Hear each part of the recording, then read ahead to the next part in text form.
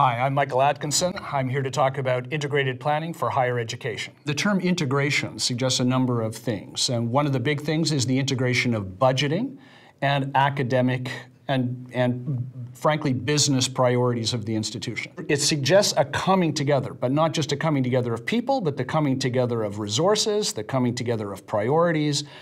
It's really trying to wrap your arms around a big, complex institution and see if you can move it in concert. So there's a host of different challenges. Mostly timing, because not everybody's ready to engage in planning activities at the same time. Also, simply enthusiasm and commitment to it. Not everybody is going to believe that this is really worthwhile.